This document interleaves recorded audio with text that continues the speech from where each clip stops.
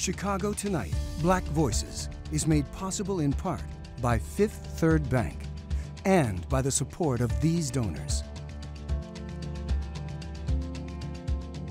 At Fifth Third, we believe when diverse voices are heard and empowered, communities are made stronger, lives are made better, and the future holds greater promise for all. That's why we're proud to support Chicago Tonight Black Voices. Together, we can make a difference. Together, we can drive change.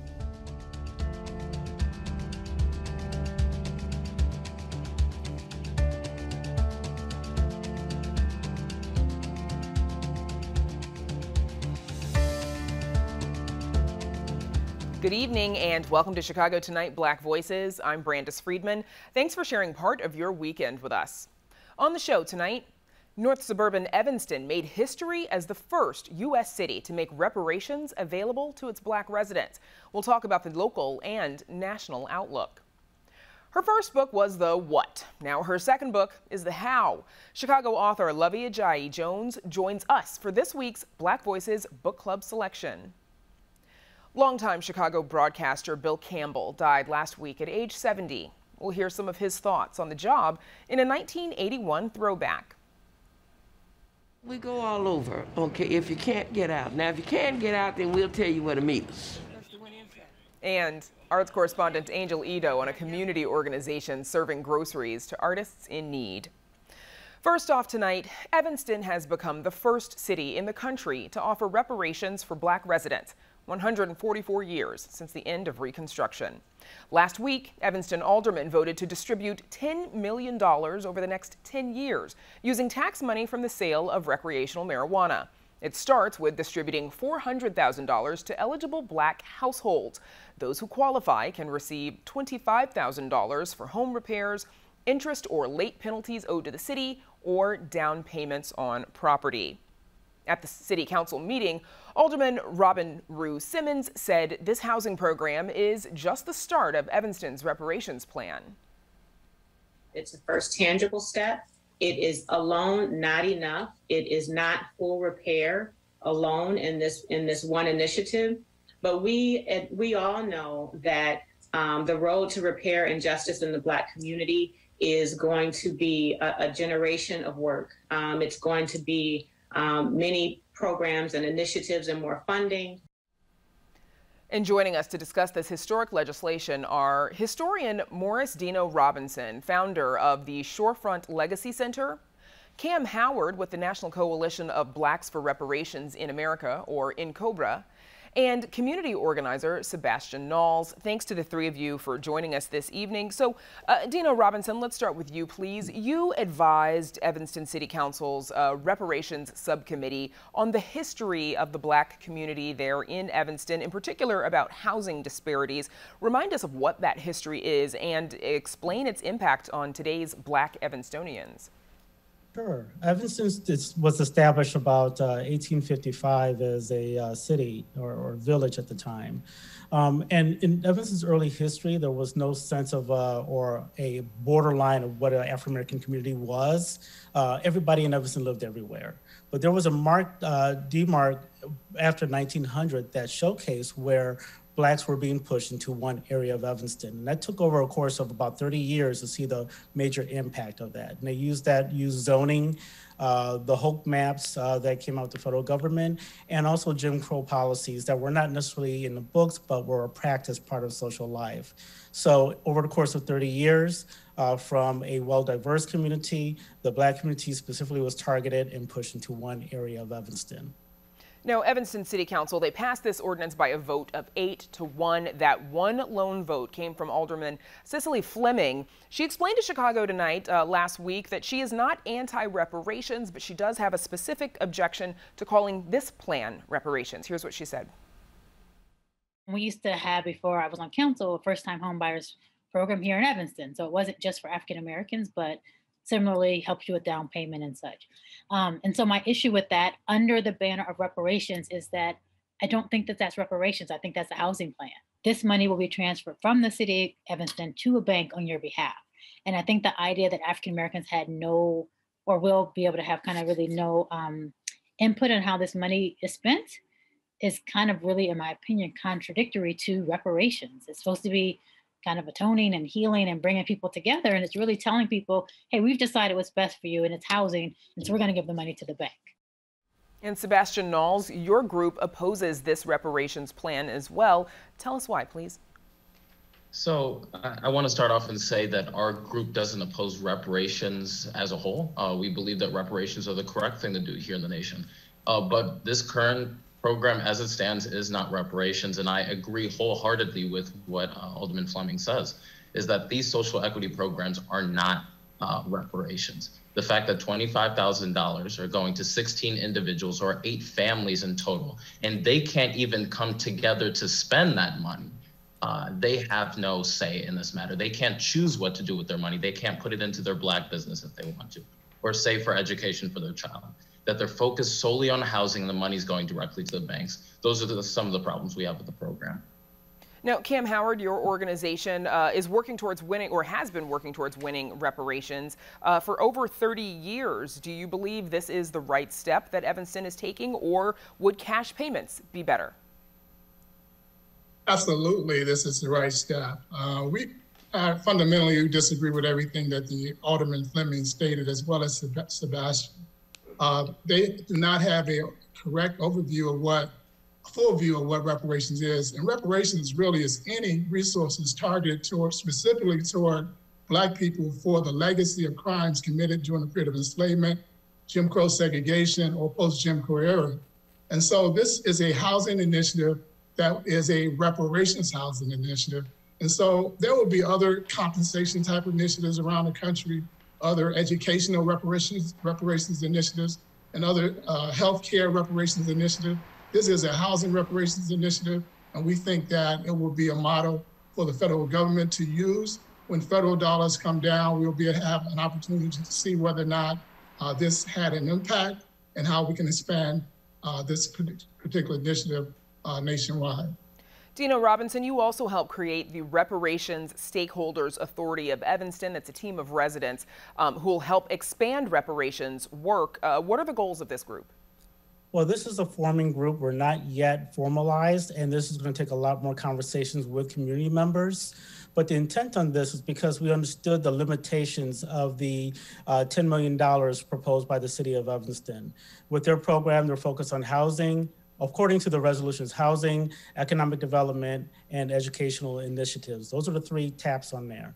Um, but what's missing are other elements. You know, people do talk about the cash payouts, uh, health and mental wellness, and other issues that are important to the African American community here in Evanston. So what this attempts to do is address a for, uh, a format where the community, the harm community, can has has a say in where reparations monies can go to um, through a uh, a private fund that's held at the Evanston Community Foundation. So this needs to be community ran, where the community sets a precedent of what's done with that money.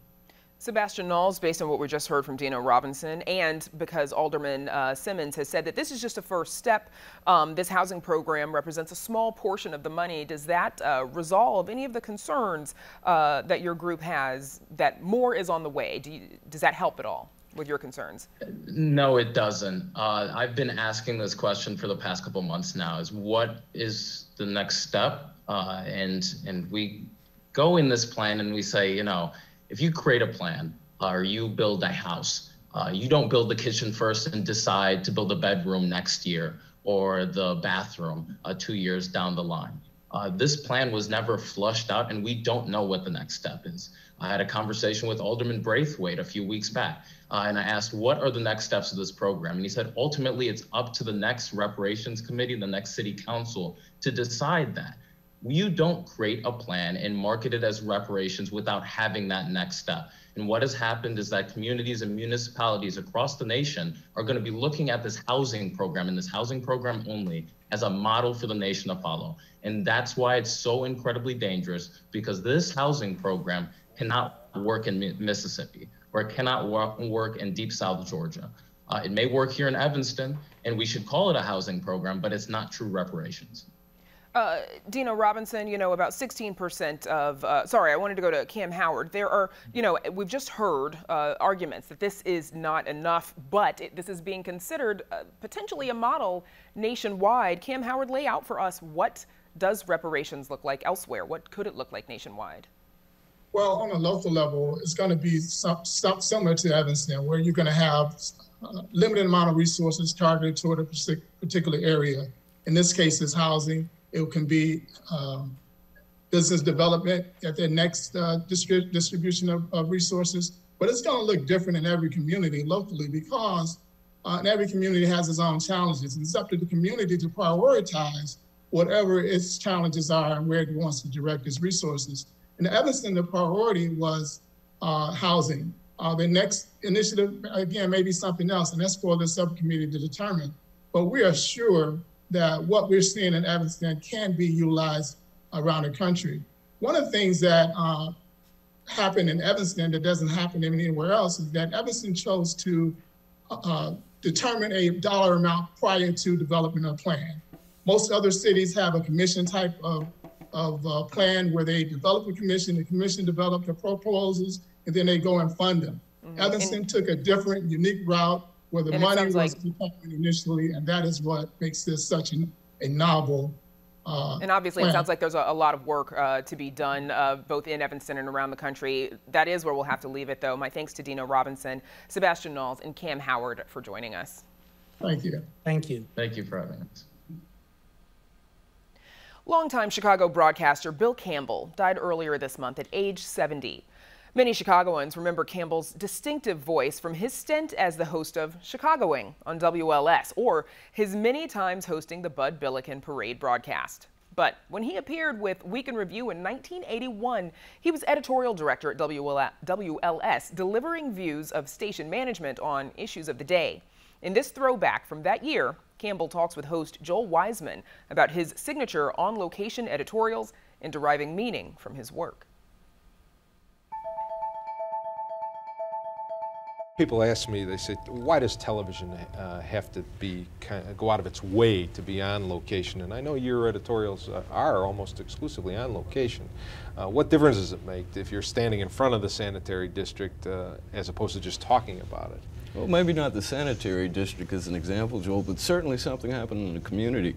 Uh, we started uh, Channel 7 editorializing on location about four years ago and have found it to be an effective way of utilizing the media that we all are, are working with. And certainly if you're in a community, you're talking about an issue that's occurring there, and you interact with people who are in the community, they have a feeling that more than pontificating on an issue, you're actually there, concerned, and it's worked for us. Let me ask you this. What uh, has been the most satisfying uh, editorial or editorial campaign that you've been involved in that has uh, brought about uh, some change in accordance with your recommendation? One that's very visual, it's a great illustration of this point, we didn't discuss it before, is the breakwater off the Oak Street Beach. Uh, last year, uh, there was a very tragic accident where a young couple were killed because they ran into the breakwater at night. They were experienced boaters. And we decided that there should be lights on this breakwater. Uh, I guess over the past 15 years, something like six or seven people have been killed in similar accidents. Um, we researched it, found out that nobody wanted to accept responsibility for it. Senator Percy got involved, uh, and just the opening of this boating season, the breakwater has Well, now you say we decided that there should be lights there. How did, how did we? Did you know about this? Did you see this story on the news and say, can't we avoid this? Or did your general manager? We saw the story. We got calls from the family uh, who had also tried to do something about it. Why aren't there lights up there? It's a very dangerous navigational situation, and why not?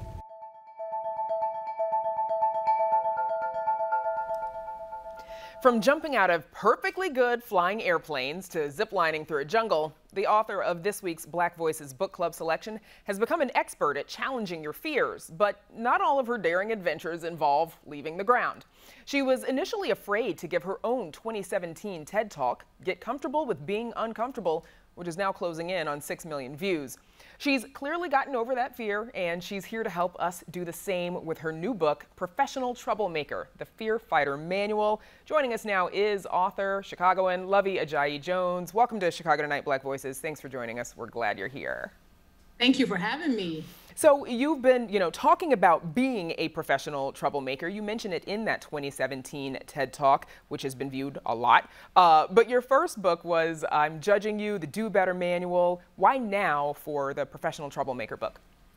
Yes, you know, my book, Professional Troublemaker, is a fear fighter manual. And I think right now it's really urgent because we are living in a world that is scarier than I've ever, I think. And I think right now what we need are more people to be professional troublemakers. And what that means is they're disruptors for good. So they're the people who are in the meeting who say, you know what, have we thought about this campaign? They're the family member who points out the bad joke your uncle makes. They're the friend who's telling you, let's have a tough conversation. I think professional troublemakers are the people who are elevating every room that they're in, and we need them to exist. So I want to affirm them. And if you are not one, I want to convince you to become one.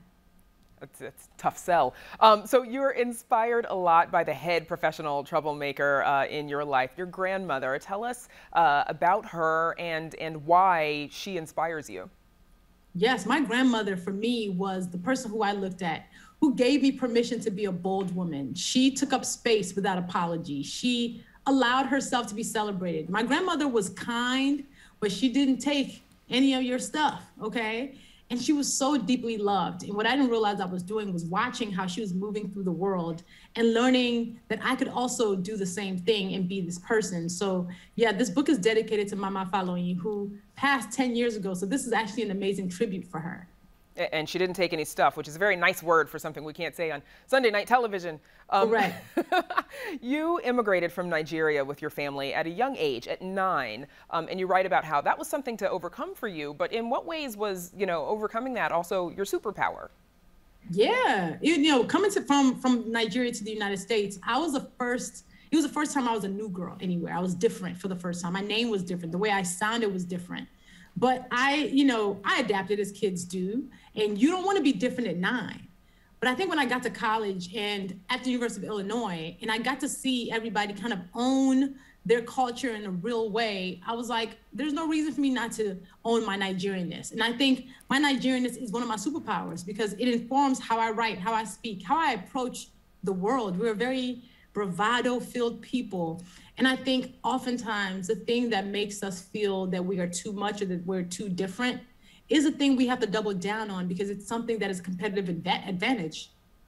In the book, uh, you write about the oriki, and I hope I'm saying it correctly. I'm from Mississippi. You are. You Thank are. you. Good. Um, tell us what that is and why why you need one. So an oriki is from traditional Yoruba land. I'm a Yoruba girl from Nigeria, and it is something that ties you to your lineage and your family, and it kind of affirms your very being. I call it a standing ovation for your spirit. And it is something that I think everybody needs because we are in this world being told all the time that we're not enough, or that we're too something, or that we need to change something that's core to ourselves. And an oriki is exact opposite. It's saying that you are amazing, just as you are today. Do you know who you are? Like, can't nobody touch you. Can't nobody say nothing to you. Can't nobody say nothing about you. So I think it's important for us all to write ourselves orikis. So fun exercise. How does one do this? This is sort of an exercise yes. that you give readers of the book, um, and you wrote your own, and you liken it to if you know Game of Thrones fans will uh, will know the one that is often given to uh, Daenerys Targaryen. Uh, I'm, I'm, yes. I'm, vamping while you find your page, know, but go on. yeah, when you think of how they used to introduce Daenerys, every single time you heard her introduced, you felt hyped on her behalf. Queen of the Andals, Mother of Dragons. You know, she was a protector of the seven realms. And I think all of us need to have it. And I created one for myself. And mine is Luvvie of House Jones, first of her name, Assassin of the Alphabet, bestseller of books, Conqueror of Copy, Dame of Diction. That's like half of what I wrote. But I want everybody to write one for themselves. I think you need to have it in these moments when somebody tells you something that makes you feel diminished or a bad day that you had, or when you want to do something big like ask for a promotion, read that thing and let it gas you up. All right. Um, so why uh, troublemaking? I guess you know you, you talked about this a little bit, but you know how is the advice that you're giving folks? How is it uh, troublesome? See, I think trouble is actually a good thing. Think about the late great John Lewis, who said we need to be ready to make necessary good trouble. Usually, trouble is some anything that's disrupting what's happening in the room, and what's happening in the room is often not okay. So, if it means making good trouble, means telling the truth. It means asking for somebody's voice to be heard when it was previously not. It means using your power in service in service of other people. And I think making trouble is a good thing. We need to reclaim the word trouble. In this world that is a dumpster fire, making trouble is a good thing. So uh, you just wrapped your book tour. I wanted to ask you this before we let you get out of here. Uh, there was this sort of kindness train that formed on your book tour. Tell me about that and, and how it got started. The kindness train has touched my spirit. When I announced my book tour, a lot of people were like, oh, I can't afford to come. Other people saw comments in my social from people who couldn't afford to come and said, oh, I'll buy you a ticket. I'll buy you another ticket. Through there, over a thousand comments 500 people who said they couldn't afford tickets, 500 other people bought their tickets. And then my friends picked up the mantle and said, I'd buy 100 tickets. We ended up giving away over 1,900 tickets, which meant 1,900 books in my book tour. And it went to frontline workers, moms who need a break, social workers, anybody who just could not come. And for me, I think that's one of the best things that have come out of this whole book tour, this whole book launch is that people really showed up for each other and showed that community is a verb. Paying it forward. Our thanks to Luvvie Ajayi Jones for joining us. It's a pleasure to have you. Thank you for having me. Again, the book is called Professional Troublemaker, the Fear Fighter Manual. For more on how to fight your fears and write your own oriki, you can visit our website, wttw.com slash voices. Up next, a community organization helping artists in need.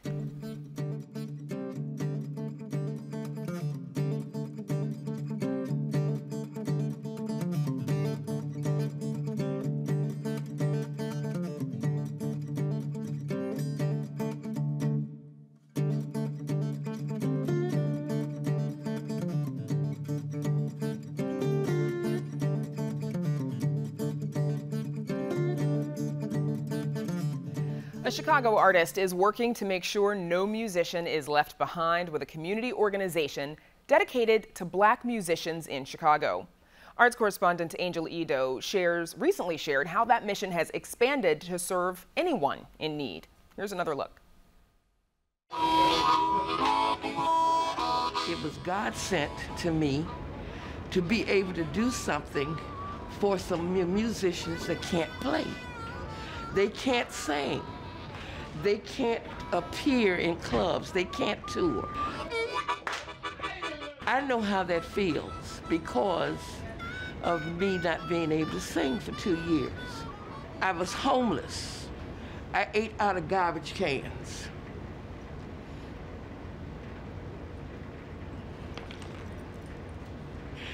And I just decided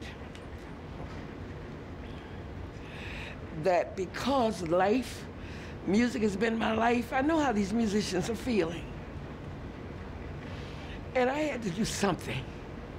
It was on her birthday last October when Chicago artist Holly V. Maxwell decided to create Black Musicians Matters.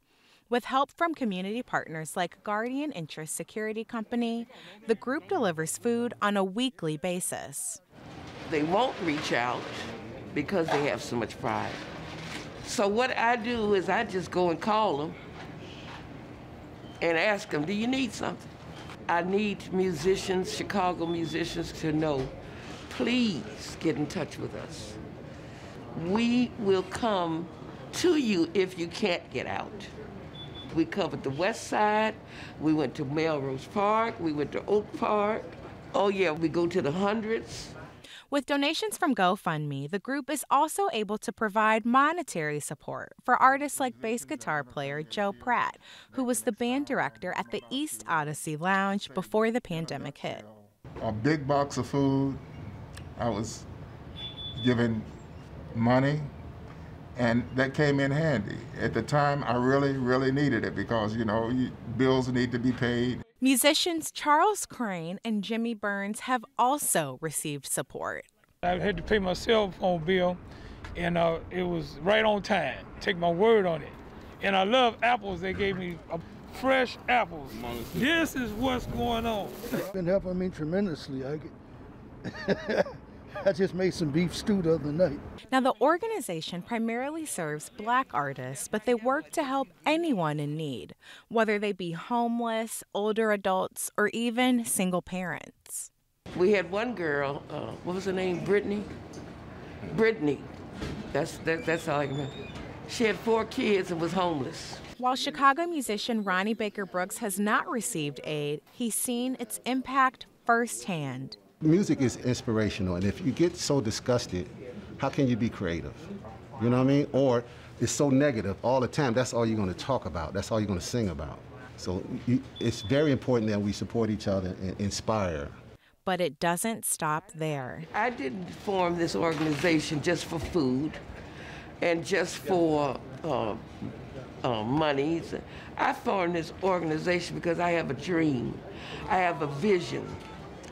I want to put up a building in Bronzeville that will house musicians if they get on bad luck. This is my dream now. For Chicago Tonight, I'm Angel Idowu.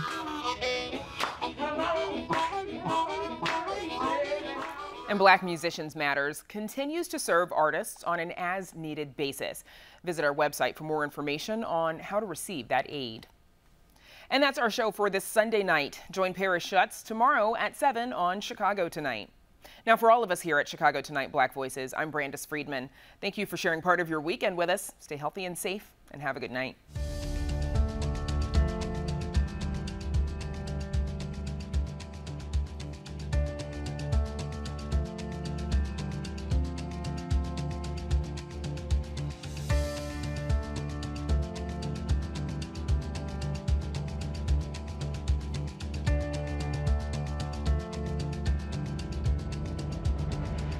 Captioning is made possible by Robert A. Clifford and Clifford Law Offices, a Chicago personal injury and wrongful death firm that is proud of its partners named Illinois leading lawyers by the Law Bulletin Publishing Company of Chicago.